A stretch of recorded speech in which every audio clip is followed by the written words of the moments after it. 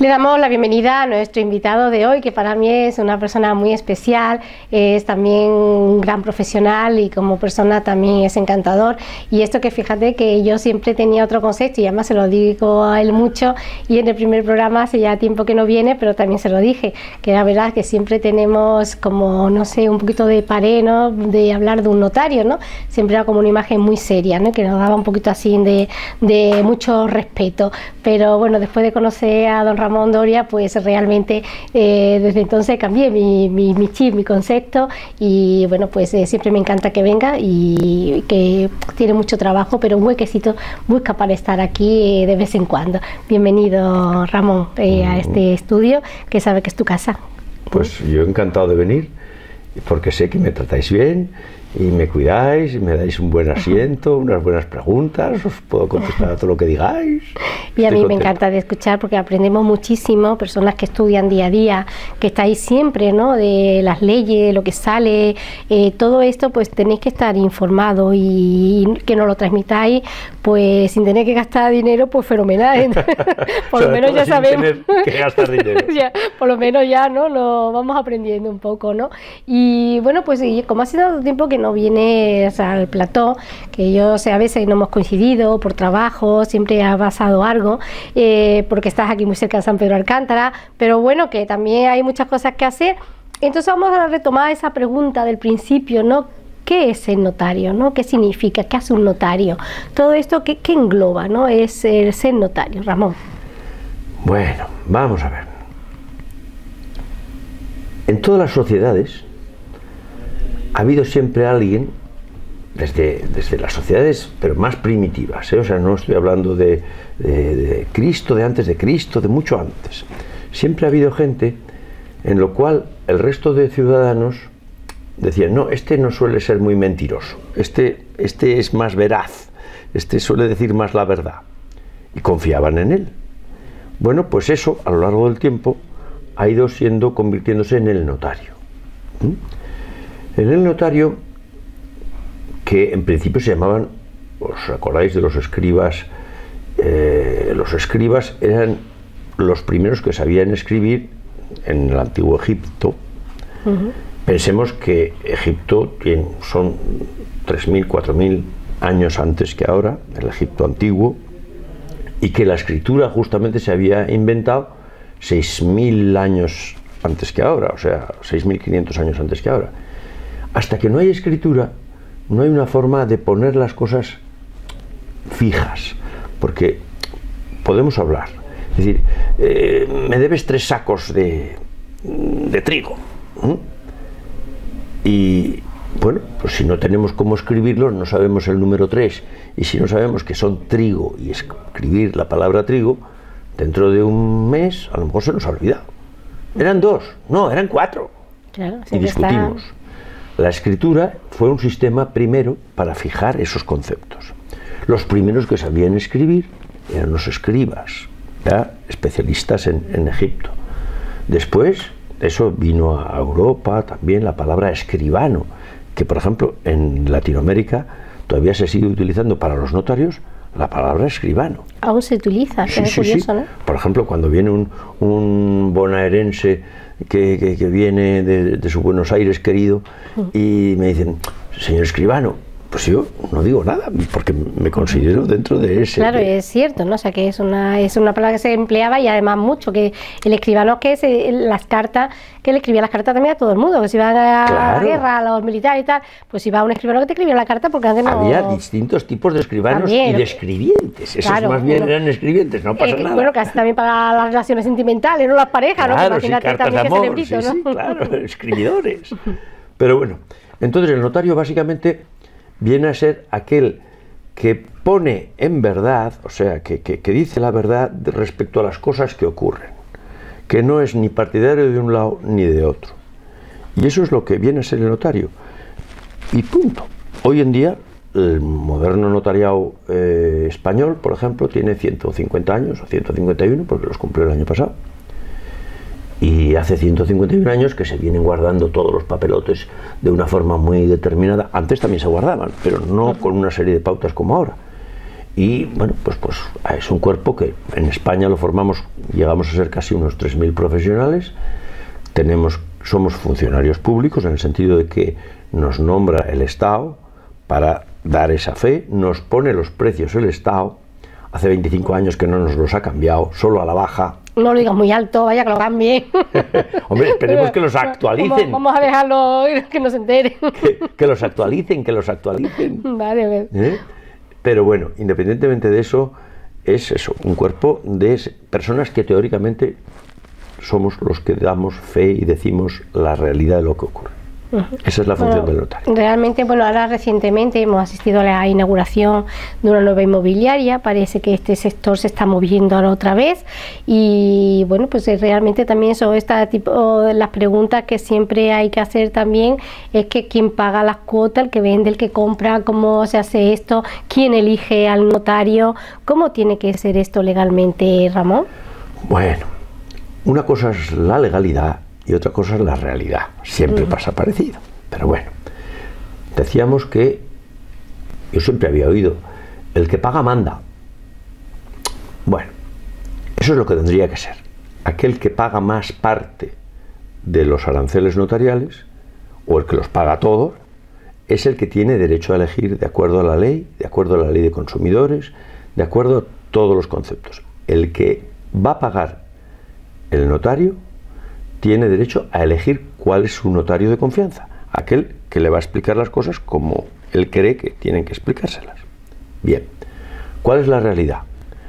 La realidad es que diariamente se conculca ese deseo, o sea, ese, ese, derecho. No se cumple con ese derecho. Muchas entidades de crédito, muchas inmobiliarias, muchos abogados, van, tuercen un poco la voluntad del cliente y le dicen, no, vamos a ir a este, a saber por qué. Yo recuerdo cuando yo hace años escrituré mi casa, si es verdad que me dijeron, ahora que usted dice esto, yo recuerdo perfectamente que me dijeron dónde tenía que ir, a qué notario tenía que ir. Me dijeron, tiene usted que ir a la calle tal, número tal, al notario tal. O sea, es que fue así. Eso incumple claramente el derecho de todo ciudadano a elegir notario. Claro, que es de otra cosa que tú no conozcas a nadie, porque cuántos extranjeros, cuántas personas vienen a Marbella o aquí a la costa donde a otro sitio, a otro país y no conoces a nadie. Entonces. Sí, desde luego, pero lo lógico por parte de, y lo que dice la ley, eh, atención, es que se le debe elegir. Es decir, hay, en, por ejemplo, en Marbella, pues estamos 15 notarios pues usted tiene este abanico. usted el que quiera.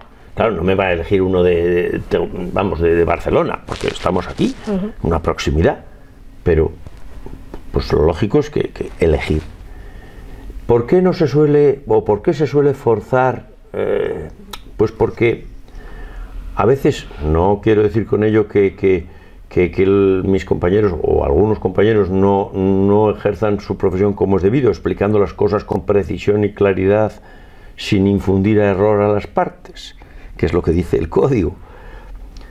Pero es importante que, eh, porque dice, no, bueno, pues este, este compañero o este, o este notario pues explica las cosas más o menos como a mí me gusta. Yo he tenido problemas por explicar las cosas muy claras y ha habido alguna entidad de crédito que me ha llamado y me dice, oye, pues no te voy a mandar más clientes porque les explicas todo lo que, lo que decimos en las pólizas. Bueno, ¿y yo qué le voy a hacer? pues no me han mandado más. Pero, pero yo explico las cosas como son. O sea, que, es también un dato importante, ¿no? Hay que explicar también las cosas, ¿no? sí, porque si uno va a tener que pagar, pagar por ejemplo, 39 euros, por ejemplo, cuando un cliente pide un crédito o una hipoteca y tiene que pagar una cantidad mensual, y los días 19, por ejemplo, hoy estamos a 19, ¿no? San José, pues el día 19 de cada mes va a tener que ir pagando. Si la cuota que tienen que cobrarle el 19 no está en la cuenta el 19, sino que, está tres días o cuatro más tarde, el banco, la entidad de crédito, le manda una carta muy amable, eso sí, una carta amabilísima, pero le cobra 39 euros por mandársela. Que claro, si la cuota que tenía que pagar ese señor era de 100 euros, pues, pues le ha salido un congo. Con esos 39 euros pagaba la luz o el agua. Por eso yo explico todos esos pequeños detalles porque me parecen importantes para el cliente. Puede haber sitios donde no se expliquen tantas cosas. Entonces, por esas razones, entiendo yo que puede ser que, se desvíen operaciones, en el sentido de que intenten llevarlas a un sitio u a otro. Pues estupendo, Ramón, porque esta información la verdad es que es muy importante, que ya que sepamos que podemos elegir, bueno, pues eh, al notario que más nos simpatice o el que mejor nos explique o cada uno a su elección. En Ramón, yo ya sabes que yo ya soy fija ¿eh? de mi notario Ramón, que, que, mejor me explica todas las cosas.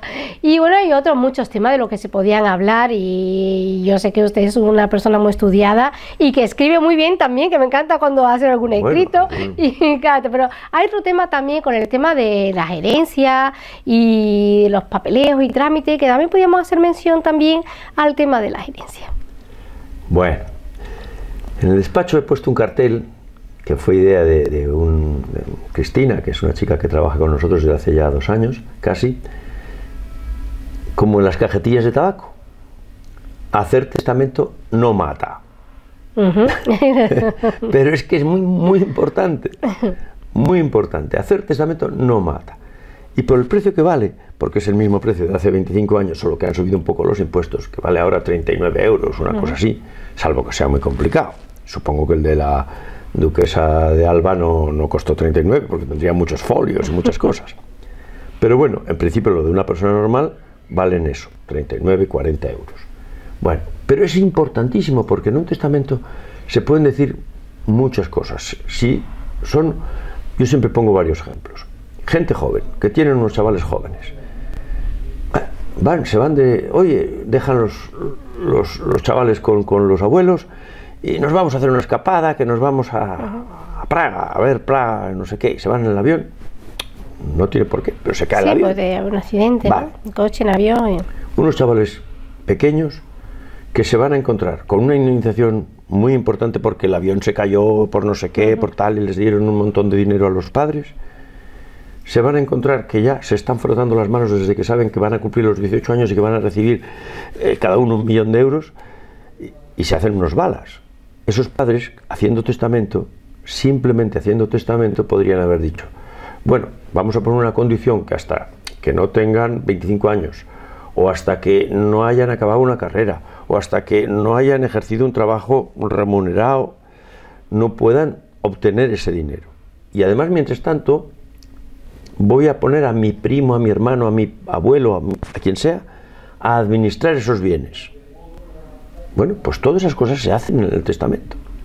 Y no cuesta dinero. Y, bueno, hay casos, yo hace recientemente también he escuchado un caso que era muy curioso también, porque era un señor que se había casado varias veces y no había legalizado nada, no tenía hecho un testamento ni nada, y murió en el trabajo. Y había un dinero que le daban por morir en acto de servicio, por en el trabajo, y no sabían a quién darle esa indemnización. Por ejemplo, o sea, que, no sabía a, qué, a quién se le iba a dar. Alguna vez he dicho yo aquí, a más papeles más derechos. Uno puede haber estado con siete parejas salidas o con 27, ¿eh?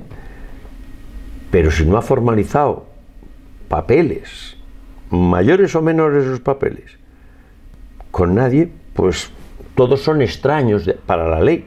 Entonces, vamos a suponer que ha, ha estado los últimos años con una persona entre los dos han pagado una hipoteca, se han hecho con un piso, pero estaba en nombre solo del que fallece.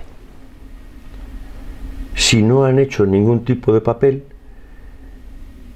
bueno, pues ¿quién heredará eso? Si hay hijos, pues los hijos. Si hay padres, si no, si no hay hijos y hay padres, pues los padres. Pero esa pareja no hereda nada, porque es un extraño. No hay Por eso hay que hacer documento que lo, que lo demuestre. Aquí hay que demostrar todo, ¿no? Sí, no, no. Hay que hacer papeles. bueno, otro tema es también que en la hora de hacer testamento, Ramón, puede que haya personas que se sientan enfermas, que le hayan dado ya, bueno, la noticia de que le queda pocos días y tal, pero esta persona está en el hospital o está en la casa, en su domicilio, porque ya le queda poco tiempo. Eh, ¿Qué ocurre ahí? Entonces queda un testamento, el notario se desplaza al domicilio, va al hospital ningún problema acudir a donde haga falta. Ahora bien, lo más difícil de los testamentos, sobre todo en personas mayores, no es desplazarme a donde tenga que ser ningún problema. Yo he recogido testamentos en hospitales, he recogido testamentos a señores que, en sus casas que, han fallecido al poco tiempo. Lo más difícil es la plena conciencia y la plena libertad. Eso es lo más difícil. Yo estoy haciendo una colección de recetas en la notaría. A ver, explíqueme estas recetas. Explico. Cuando viene una, una, persona muy mayor, pues 70, 80 años, o 70 no es mayor, pero bueno, 80, 80 y pico años, y no es que venga empujada, pero viene indicada, ¿no? A la notaría a hacer testamento. Bueno, yo a mí me gusta quedarme, y entonces como hay muchas más viudas que viudos, pues suelo quedarme con, con las señoras mayores y lo primero que hago es hablar de las recetas. Y yo a través de que me cuenten una receta y la voy apuntando porque me gusta cocinar, voy aprendiendo si realmente esa persona está perfectamente o no. O sea que ahí se ve, ¿verdad? Que ahí, hablando con las personas de las cosas que les interesan y que saben, es donde uno ve si realmente esa persona está bien o está mal. Si está mal, también me ha pasado más de una vez, también he tenido que decir, pues yo lo siento, tendrá que ser en otra ocasión, pero yo a esta persona no le puedo recoger un consentimiento para una cuestión tan importante. Porque suele darse el caso de uno de los hijos o uno de las hijas o X, alguien más vinculado, en cierta medida presiona a esa persona mayor para que le mejore a él o a ella en su testamento. Entonces esa presión es lo que yo es mi obligación intentar averiguarlo. Entonces más el precio sigue siendo por eso 40 euros es barato, pero hace falta hacer toda esta serie de cosas para ir viendo. Bueno, no hace mucho también salió las noticias, ¿no?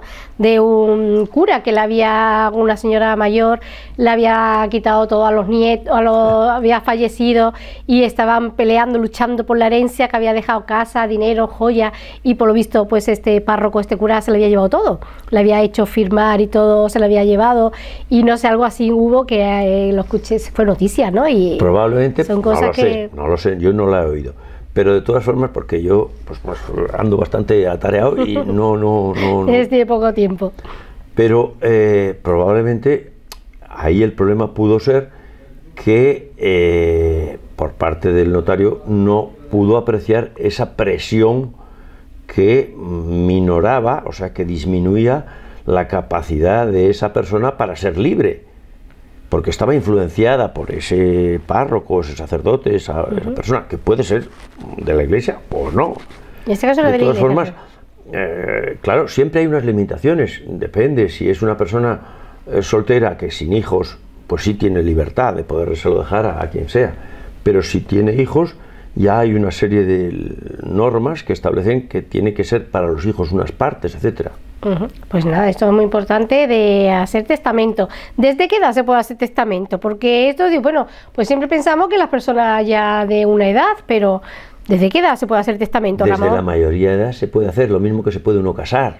O sea, desde la mayoría de edad ya podemos hacer testamento. Claro, y antes también en otros casos, pero bueno, no viene al caso. Desde la mayoría de edad, cualquier persona, porque nadie sabe cuándo se va a morir, pero sí sabe que se va a morir. Entonces, nadie sabe tampoco lo que tendrá Vamos a poner un chaval de 19 años. Juega con la novia a los ciegos y le toca, ¡pum! Pero del alegrón se muere. Sí, un infarto, claro, de la alegría. Si hubiera hecho testamento, podía haber dicho, no, si es que estoy viviendo con mi novia, así ya somos pareja de hecho, ya habíamos formalizado esto ante el, X, ante, o nos habíamos casado, X. Pero si no dice nada, como no tienen hijos, pues es para los padres de él, que a lo mejor es lo que quería.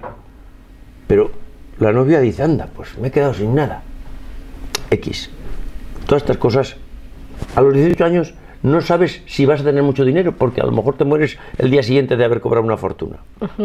Bueno, son cosas muy curiosas y anécdotas que nos interesa siempre hablar. Con Ramón tiene que venir más veces a hablarnos de cosas interesantes como las de hoy, porque la verdad es que nos encanta escucharte. Pues nada, yo encantado. Así que me tienes que hablar cuando me da la noticia de que ya los notarios pueden casar a las parejas, porque ya sabes que me tienes que casar. Así que espero que se apruebe pronto y, y legalice mi situación. Así que Ramón, ya sabes que me tienes que informar de muchas más cosas que esperamos cuando tú quieras y que es tu casa, te lo digo una vez más. Muchas gracias por venir y gracias. por la información que nos das. Muchas gracias por llamarme y por preguntarme cosas. Pues nosotros ahora hacemos una pausa para asimilar toda la información que nos ha dado Ramón. Vamos a publicidad y enseguida volvemos.